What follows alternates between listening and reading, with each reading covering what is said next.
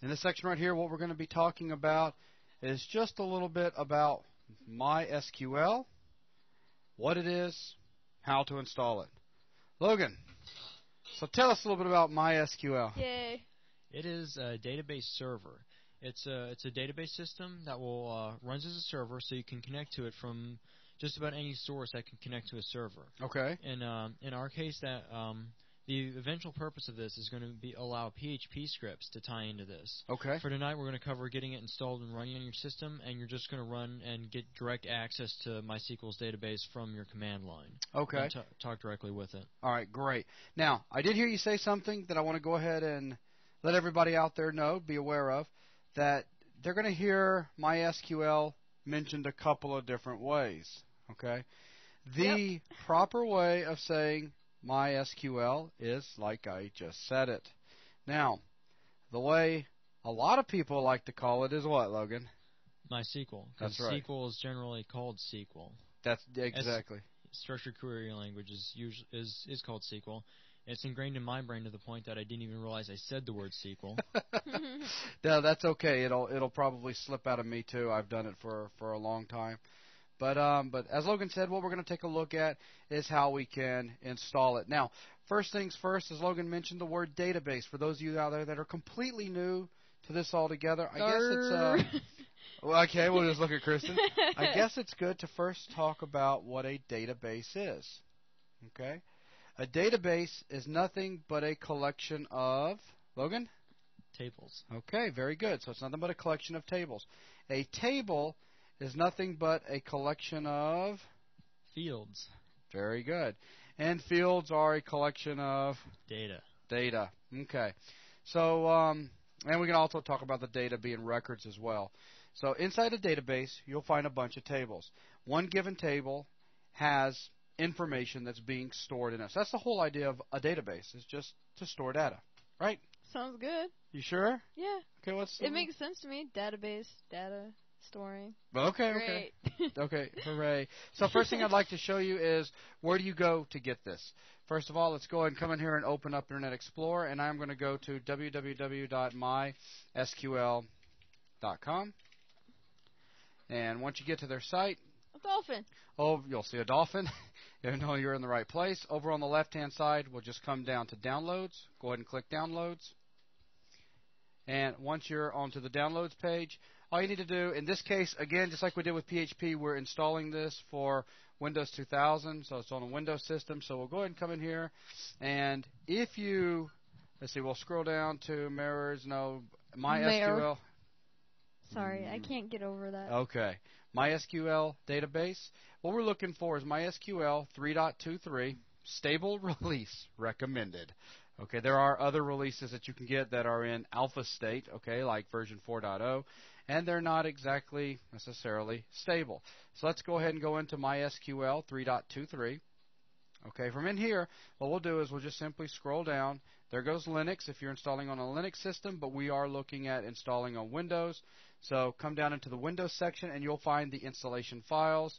And here we go, MySQL 3.23.49 for Windows 95, 98, NT 2000, and XP. And just click download and save it to your computer and we'll be ready to install. So since I've already got this downloaded, Good thing we have the buzz connection. yeah, so here's the buzz connection. We'll just simply close that and Zoom. download. All right, so that was pretty quick, and we've got our 12 meg file downloaded here in just a half a second. We'll go ahead and open up using WinZip. And I will basically inside here, for those of you that have installed a lot of software, you'll recognize setup.exe, etc. This is just a basic um, install shield package file ready to be installed. Go ahead and extract this out to, uh, let's just put it over on K drive actually, up under temp, and extract it. Okay, good enough. That was fast. And now let's go ahead and come up under K drive. There's temp.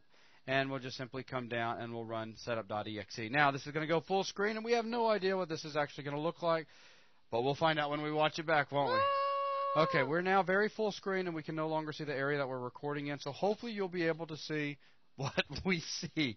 Uh, right now, we're looking at the welcome. Of course, it's suggesting that you have other things, everything else closed down before you proceed with the actual install. And we have about everything in the world running right now. This is going to cause us a problem when we get to the end. Um, when I say everything else in the world running, please remember that right now we are recording audio live, we're recording video live, and we have other things running as well. Live from New York. So next, and information, next. Where do you want to install it? Destination folder. I'd like to go ahead and change it over to my K drive. Again, we're using the K drive for this entire VTM. Uh, the default is up under MySQL. Tell it yes to go ahead and create that folder. Next. Uh, we're just going to go and do a typical install. Of course, you can do compact and you can also do custom as well. We won't be getting into those on this VTM. And so now it is proceeding with the actual installation. And we'll probably see something really nasty in just a second. And here it comes. Installing lots of files, lots of files. Oh, and there it goes. Actually, the uh, the little crash that you're looking at is it did not properly finish with creating the uninstall data that's required when you go and tell MySQL to be removed from your system. So no big deal. We'll just tell it OK. There we are. We're back. We can go ahead and come on up, take my temp folder, and I'll simply shift delete yes. Chances are you probably won't get that error on your machine when you run it. Yeah, because you won't have 10 million windows running. Of course, if you've got yeah everything in the entire world open, maybe so. But all right, so now that we've got all that installed, next thing we want to do is see how we can actually start it up. How do we get it started? So what I'm going to do is let's just go ahead and close this out. I have copied over my command prompt from up underneath my taskbar, start, programs, accessories, etc. Go ahead and open up the command prompt. Let's drag this down over here. Working inside of MySQL is not the most exciting thing in the world. There are Windows uh, interfaces that you can work with, and we'll explore some of that in a later VTM. Right now, I'm wanting to keep this very much to a command prompt because of those out there that may be using a Linux system. Okay, so from here, let's just go ahead and jump over into K Drive, and while go ahead and do a directory listing, and you'll see MySQL listed in there. So we're going to simply do a change directory to MySQL. Yes, I know I can go ahead and go down the next step. For those of you out there that are going, why doesn't he go to the bin folder also? You know what I'm talking about. Uh, I'm just I like to go through this slowly for people that are completely new to working inside a command prompt and doing stuff like this. Like you, right, Kristen? Like me. so now we are up underneath the folder MySQL. I'm going to change the folder again. I'm going to step down one further and go up underneath the bin folder. Okay, so we're now up underneath the bin folder, and I'll go ahead and get a directory listing. Okay, so you'll see that there's a bunch of files inside here, and what we're interested in doing is running MySQL D Okay, let's go ahead and just do it. My SQLD space dash dash stand alone. This is what actually fires the server off. Okay, so I'll go ahead and simply hit enter, and, and it goes blammo. Yep, MySQL is now running. It, it's not that it's locked up; it's just it's now running. In fact, I've got my task manager open right here, and if we take a look inside my task manager, uh, let's see, there she is right there, My MySQLD. Okay, so we've now got it running. Even if I come in here, take my command prompt, and close that window down, and it's still running right there. Okay, let's go ahead and move this out of the way. Even though I shouldn't have closed the command prompt down because I was going to show a couple more things before nope. we finish. that command prompt's dedicated to MySQL. Oh yeah, that's right. We would have been able to type anyway. Absolutely, good call. What? We would we would have needed a new one anyways. That command prompt became dedicated to MySQL D. Oh, okay. So I couldn't have used it anyways. So I'm just going to go ahead and jump back over to K Drive and we'll cd backslash to MySQL uh, bin folder.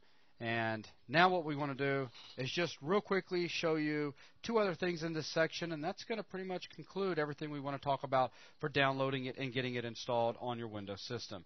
So right here, next thing I want to do is how can we see that it's running? Well, you saw up under the Windows Task Manager, not a problem. We also can use the MySQL admin command.